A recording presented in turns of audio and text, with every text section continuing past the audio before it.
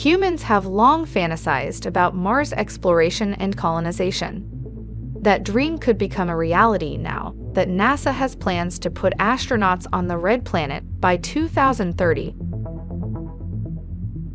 Simply transporting people across the 34 million miles of space that exists between Earth and Mars presents one of the biggest challenges.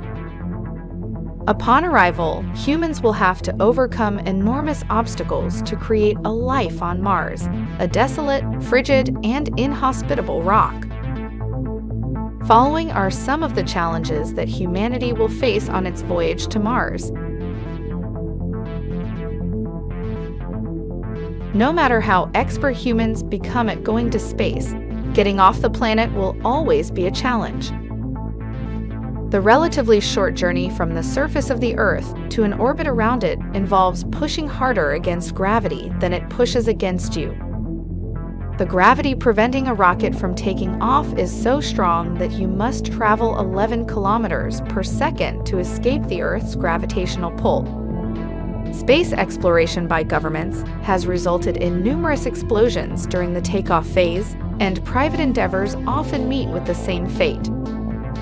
No matter how advanced space travel becomes, getting off the ground will always be a risk.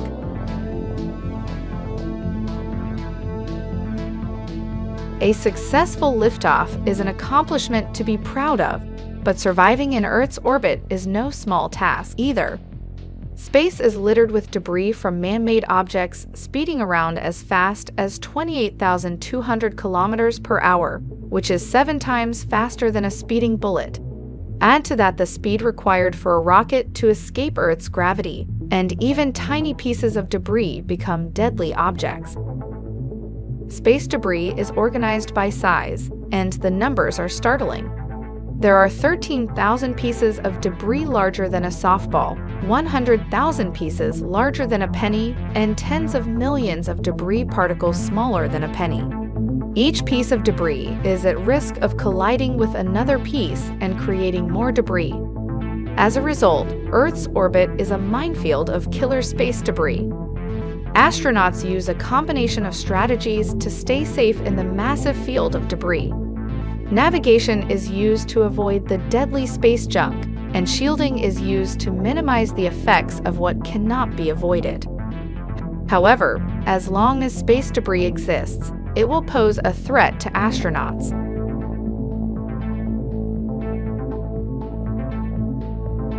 Any successful voyage to Mars will require adequate fuel to transport an incredibly heavy payload. NASA has already successfully landed unmanned spacecraft on Mars, but in each instance, the weight of the robotic vehicles was substantially less than what would be required to transport a crew and necessary life support equipment. A manned voyage to Mars requires minimizing both weight and fuel. However, this reality creates something of a paradox. As carrying humans to Mars necessitates more weight, it also requires more fuel that in itself constitutes more weight and requires even more fuel.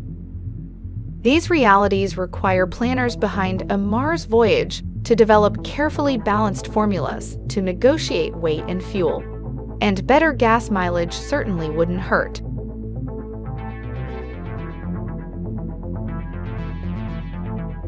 Experts anticipate astronauts will deal with challenges of isolation and boredom on their way to Mars, to say nothing of the loneliness they will face when building a home on a new planet. The journey from Earth to Mars will be long. The length of time it takes to travel between the two planets depends on how closely their orbits align. In the past, unmanned missions to Mars have ranged from 128 to 333 days. A small crew trapped inside a tiny spacecraft for long periods of time is bound to experience boredom and isolation. Furthermore, attempts to minimize weight requirements by shrinking crew size only exacerbate this challenge. The smaller the crew, the less time required until you can repeat every joke and story that your companions have ever told word for word. The psychological effects of a small crew isolated together for long periods of time create a number of impediments to a successful Mars voyage.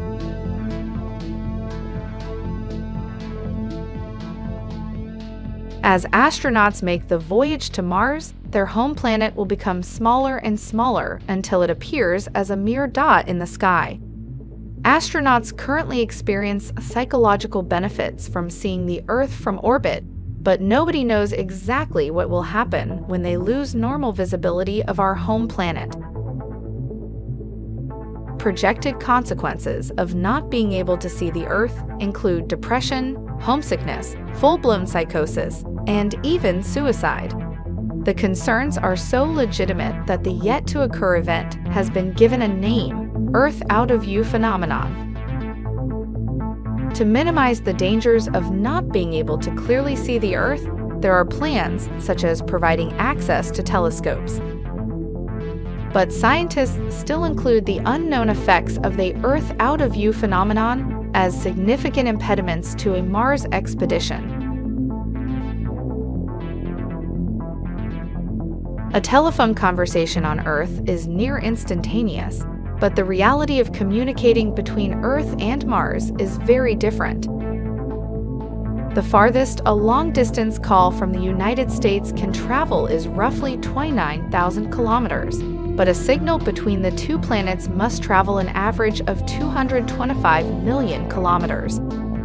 As astronauts get closer to Mars, the possibility of near instant communication with Earth diminishes. Depending on how close the two planets are, a one way radio signal takes anywhere from 4.3 to 21 minutes, meaning an initial signal followed by a response can take up to 42 minutes. In addition, the Sun can impede communications between the two planets to such an extent that astronauts could be cut off from Earth for weeks at a time. These delays not only prevent astronauts from communicating for social reasons, but also limit their ability to receive life support for innumerable technical issues.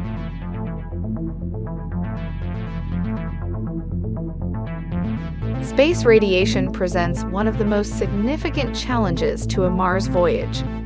The atmosphere of the Earth shelters those living on the planet from space radiation, but astronauts have no such protection.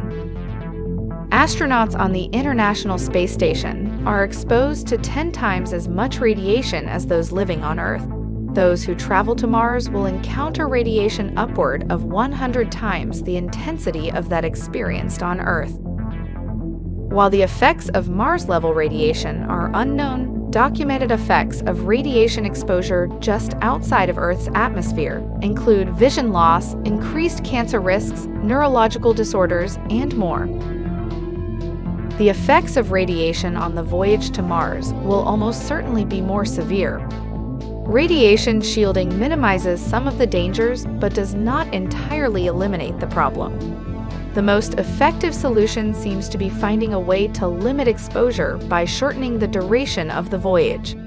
Yet, even in the most ideal circumstances, NASA anticipates violating its own radiation exposure guidelines on a trip to Mars.